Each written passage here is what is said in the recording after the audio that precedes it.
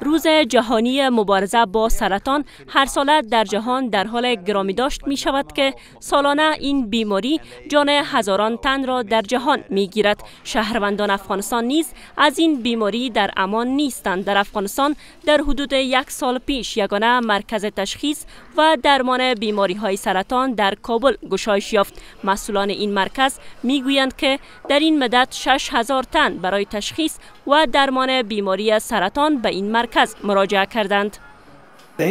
تعداد زیادترین آمار را که ما روبرو شدیم سرطان سیستم جهاز هضمی هست که در مرد و زن تعداد فیصدیشان قدر متفاوت نیست ولی در خانم ها تعداد که ما در آمار خود داریم یعنی تعداد مریضایی که مراجعه کردن در قدم دوم سرطان برست یا صدیه بیشترین آمار می سازن. فریبای چهل ساله یک از بیماران سرطان میری یگانه مرکز تشخیص و درمان بیماری های سرطان در کابل است. این بانو بیش از سی ماه می شود که در این مرکز عملیات شده است. وی می‌گوید ماها در بر گرفت تا بیماری وی شناخته شد.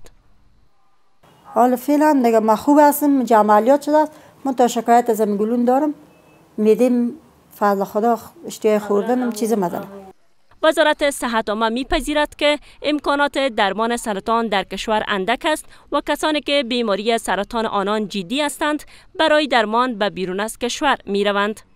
بعضی سرطان ها که با تداوی پیشرفته ضرورت دارد خصوصا تداوی کیموتراپی و بعضی سرطان ها حتی وجود داره که باید برش تداوی زیر دست گرفته شود که در افغانستان ممکن نیست فاکتورهایی که زمین ساز بیماری سرطان می شوند کارگیری تنباکو، خوراک های غیر بهداشتی و نبود فعالیت های فیزیکی در کشور گفته می شود.